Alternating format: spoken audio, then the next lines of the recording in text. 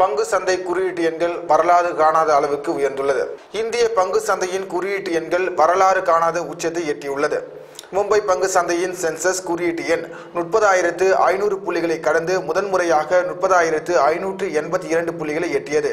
அதேபோல் தேசிய பங்கு சந்தையின் நிப்டியும் ஒன்பதாயிரத்து ஐநூற்று பன்னெண்டு புள்ளிகளை தொட்டுள்ளது.